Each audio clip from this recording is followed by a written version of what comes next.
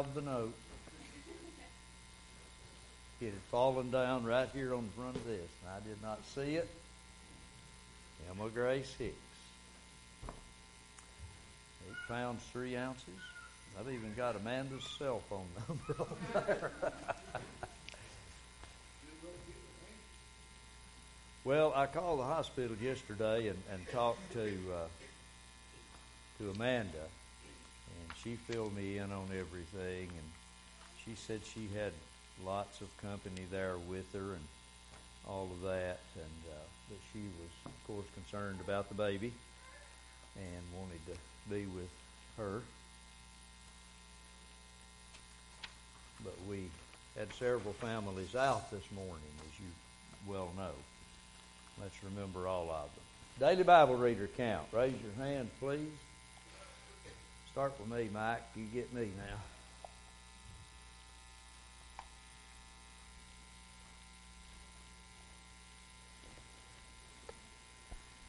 I was joking about getting Steve Harper and Dennis Hackett together. Darlene said, just don't bring them to my house.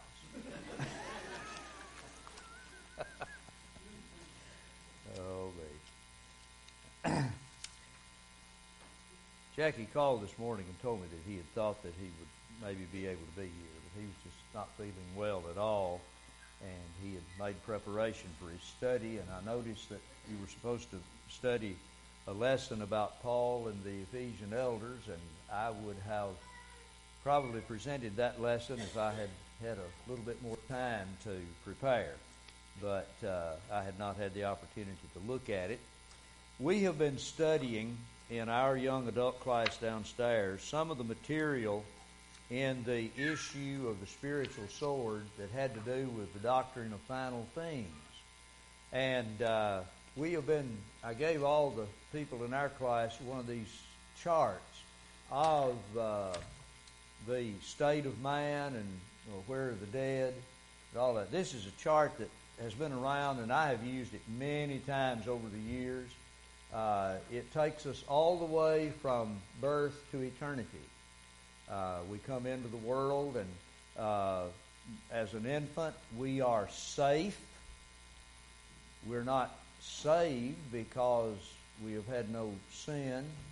Uh, babies are not born in sin, and uh, we uh, we took that statement. We have looked at the statement that is made where David says that in sin did my mother conceive me, and so on. And we pointed out, uh, have, have learned by looking at uh, the Old Testament that David was the tenth generation uh, of the descendants of Judah. And uh, Judah, you remember, uh, fathered a child by Tamar.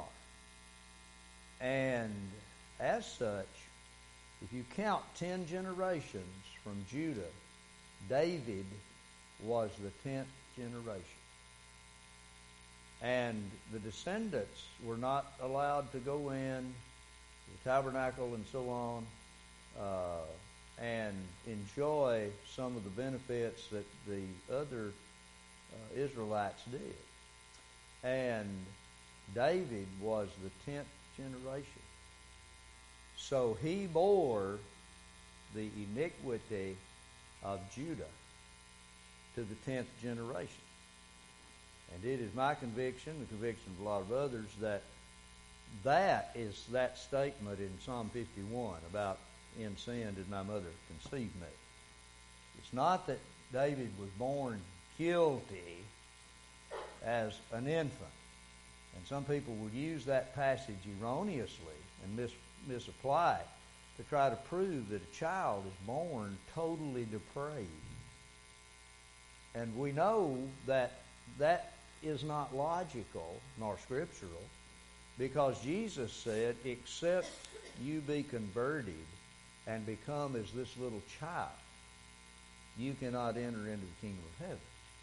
Well, if that child was born totally depraved, then Jesus would be saying, except you be converted and become totally depraved, you're not going to enter into the kingdom of heaven.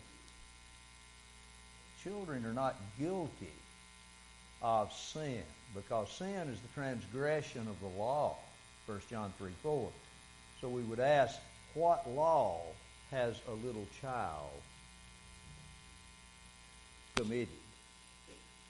Now, since she's the ladies, we have a lot of little children here. Uh, little Emma Grace. What sin has she committed? None. She was not born in sin. She was not born a sinner. She was born an innocent child. Now that's how we come into the world. When we reach that age of accountability, uh, we are either going to stay uh, pleasing to God and become one of His children through the process that we talked about this morning. We're saved from our sins. Uh, we know that the person, as they grow, either will enter into the kingdom of God or they will enter into the kingdom of the devil. They'll either be in the, the Lord's family, the church, in his body, the church, or they will be in the world, which is the kingdom of Satan. So you become either a member of the kingdom of God or you become or you stay in the kingdom of Satan, which you uh, you know you, you come to a recognition of sin. We all I remember vividly the time when I began to realize, you know, there's something not right here. And uh, I didn't obey the gospel when I needed to. I knew that I needed to probably a couple of years before I did. I knew, I knew exactly what was going on. I've heard the gospel preached for years. Uh, when one enters into the kingdom, the church, uh, he can backslide and go back into the kingdom of Satan. Or he can stay faithful and remain faithful.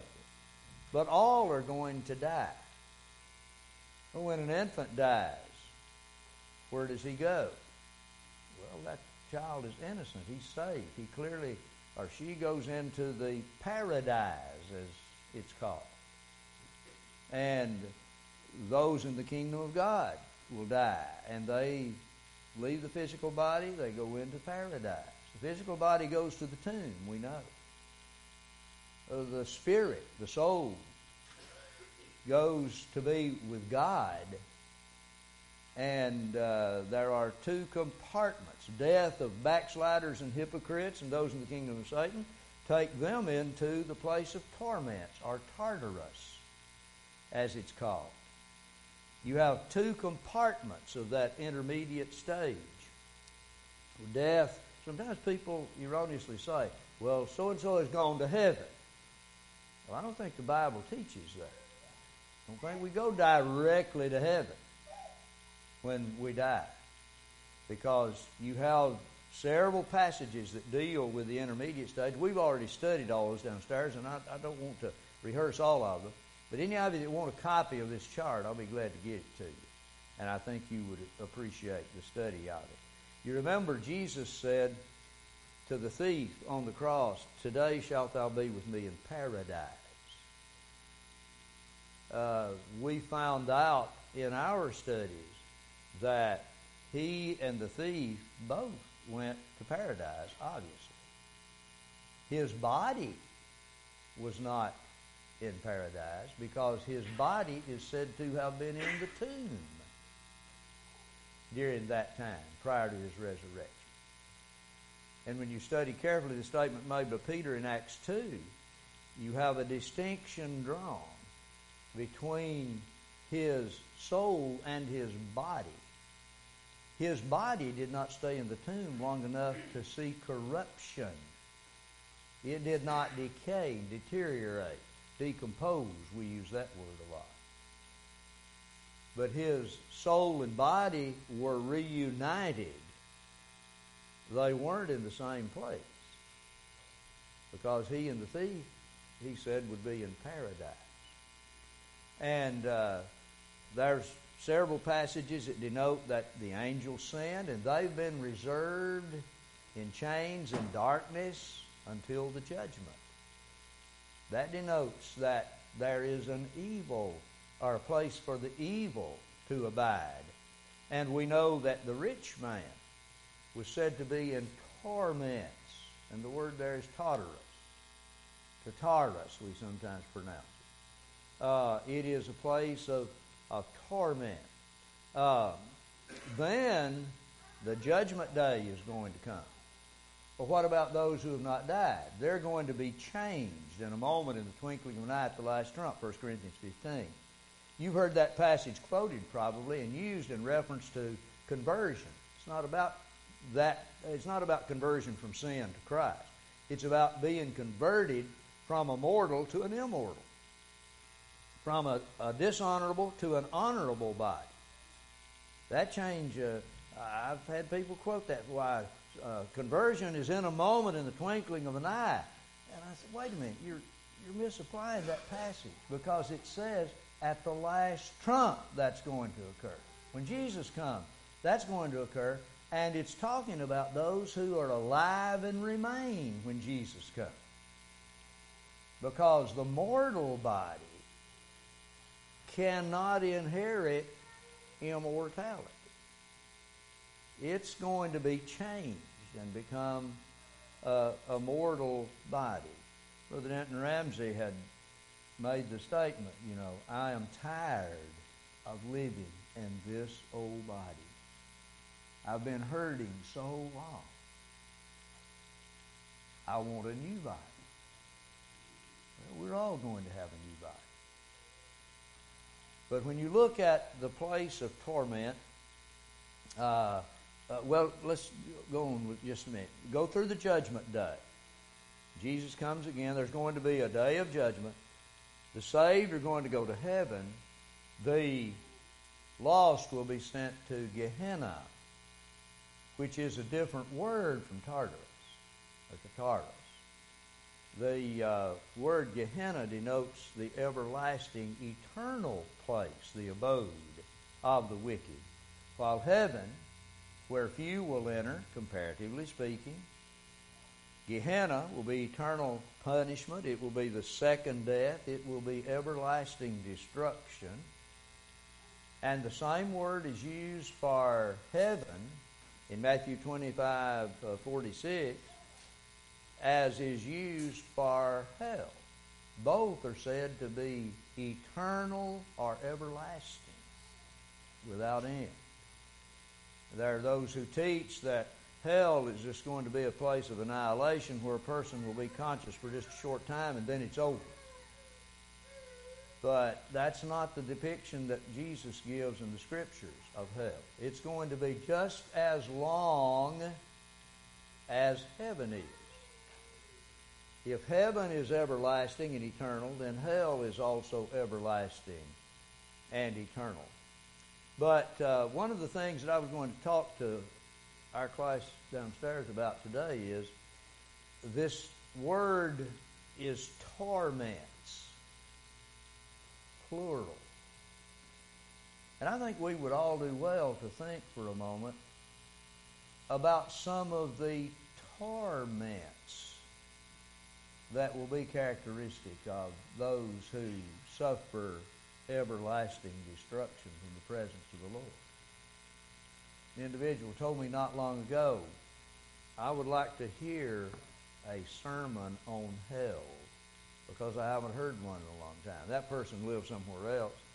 And I told him, I said, Well, I wish you had been with us couple of weeks ago because we took a look into the abyss. I don't know if any of you remember that sermon or not, but we did. We, we took a look into the abyss, talking about we illustrated it by those glass bridges that you can walk out on, you know, and look down into those chasms. And that's that's what we tried to do by actually looking at that terrible place called hell. But think about that word torments for a minute. What would be some of the torments that a person like the rich man that Jesus talked about in the book of Luke, in connection with Lazarus, the beggar, who was laid at his gate, laid at the rich man's gate every day, and he just desired the crumbs from the rich man's table. Lazarus was not a demanding person. He didn't ask for a lot. He asked for only the crumbs. He didn't ask for a full fledged meal. One of the interesting things about that, and sometimes I think we make an assumption, we assume the rich man didn't give him any crumbs. It isn't stated that the rich man refused to give him any. It's not really said that he did. But even if he gave him crumbs, it wasn't enough. He should have given him more, shouldn't he? I mentioned to our class last week downstairs, you remember the story of Mephibosheth? When David sought him out, this man was a crippled descendant of Saul. He would have been Saul's great grandson. Saul had died, and uh, a lot of his family, no doubt, were deeply concerned because they thought the new king, David, since Saul had tried to kill him, David would probably try to kill Saul, or Saul's descendants. And you remember David sent an entourage and brought Mephibosheth to his place. And he brought him in and set him down to a fine and sumptuous meal, which kings would often do, and then turn around and kill their guests. But David said, You're going to be at my table from now on, and you're going to eat what we eat. You're going to dine with us. It's going to be just like it was when your father Jonathan was living. You know, remember when Jonathan said, I can't come anymore, David? David said, Your seat will be empty and you will be missed. Mephibosheth, no doubt, had a lot of misgivings about being taken to David's place and palace. But David brought him in and treated him royally. He said, You're in effect going to live with me from now on. You're going to be a member of the royal family. David was so much bigger man than Saul was, though Saul no doubt dwarfed him in size. But David was a good man in that regard. He made his mistakes. We all know them well. But uh, you think about that kind of behavior. Uh, Lazarus the beggar just asked for the crumbs off his table. But sometimes we can sin by not giving. We may give some, but we may not give enough. And the rich man did not show the compassion and the mercy and so on that he should have. But when he was in Tartarus, he looked afar off and saw Abraham with Lazarus in his bosom. And have you ever thought about uh, the torment of a troubled mind? You ever met, ever, ever met anybody that was really troubled in mind? They had a lot of things going on in their lives. We all do have that to some degree at one time or another, don't we? Jesus was concerned about that. In John 14, he said, Let not your hearts be troubled.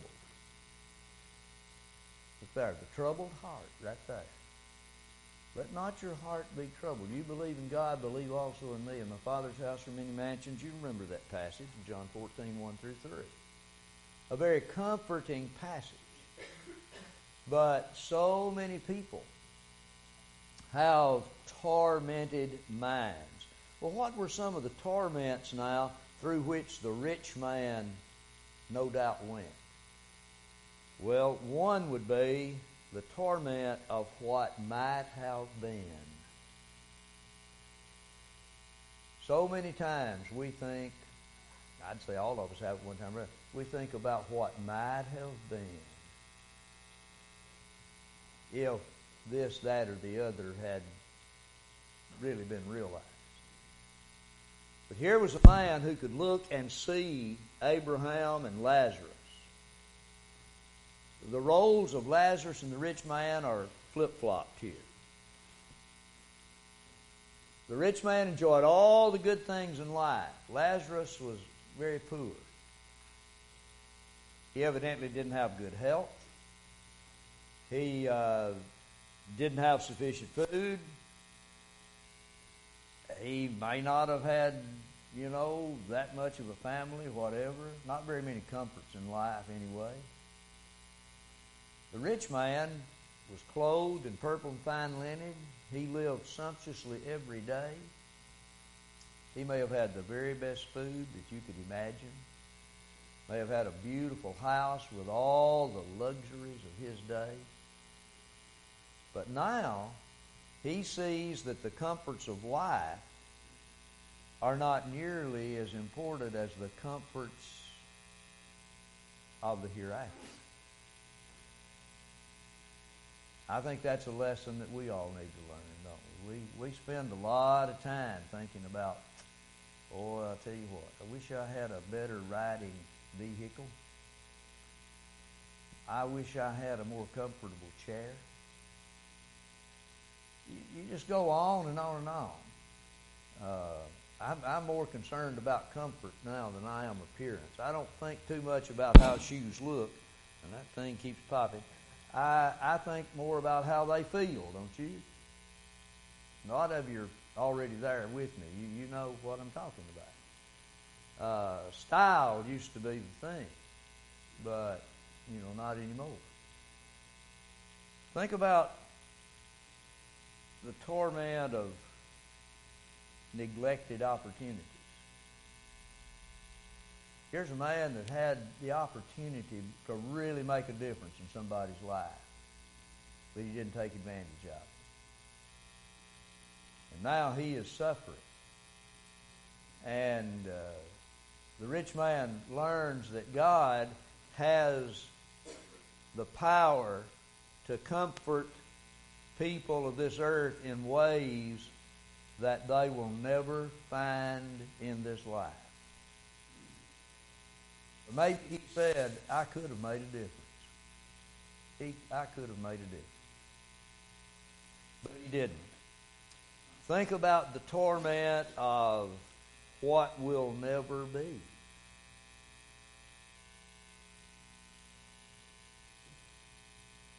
He said, I'd love for you to send Lazarus and let him dip the tip of his finger in water and just cool my tormented tongue. Have you ever awakened at night when your tongue is so dry and parched that it, it sticks to the roof of your mouth and you think, whew, what I would give for a cool drink of water?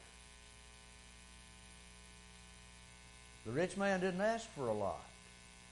He didn't ask for a bottle of water. You know, bring me a bottle of water. Drive through McDonald's, drive through, and lots of times I'll say, I want a bottle of water. And they'll say, Well, I can get you a cup of ice with some water. No, I want a bottle of water. See, I'm wanting what I want. I want, I want a bottle of cold water. Sometimes what they put in, on the ice, now Barbara likes stuff on ice, but uh, the stuff that you put on it, it takes a while for the straws down in the bottom of it, and what you pull up that first sip or two is warm. It hadn't gotten cold yet. But water satisfies thirst like nothing else does. This man wanted water. But Abraham said, can't be done. There is a great gulf between us. I illustrated it last week by standing on one side of the Grand Canyon and looking to the other and seeing that chasm between. Think of some dear loved one that was on the other side and you wanted to be with them. You might have to have binoculars to see them. But you want to be together, but you can't be. Because that chasm, when he said that great gulf, is far greater than the Grand Canyon. But it was not so far that he couldn't see because he looked and saw Abraham and Lazarus in his vision. He could see it. Remember, Moses saw the panoramic view of the promised land, but he never experienced it. And you think how how frightful that is. That would be so troubling, wouldn't it? Remember, Jesus said, Let not your heart be troubled. You believe in God, believe also in me. God can take away those troubles. Satan can't. The rich man was now tormented. He was troubled. But there was no comfort for him. I think we all need to think about those things. Think about how terrible the torment would be to think of what might have been. Think about the torment of thinking, oh, what will never be. Really something for all of us to think about. The torment of seeing and never experiencing. And I use the illustration, I've used it before in, in the auditorium in a lesson, I think, of one night during our annual singing, I had to go out in the parking lot to get something. And I, when I was out in the parking lot, I could hear no singing at all. I came in the back door of the annex. When I opened that door, I could hear the singing faintly. When I opened the first door through there, the metal door, it was even a little louder. When I came through that one, everybody's voices hit me full blast, and it was so beautiful. I could hear it faintly. The rich man could see across that chasm. He evidently could hear because he understood Abraham, didn't he? Think about hearing that great singing that will be in heaven and knowing that you can never experience that. That would be torments, wouldn't it? Thank you for being here and being a part of our Bible study program. We hope that you will be back tonight. If you need one of those charts, I have a few right here.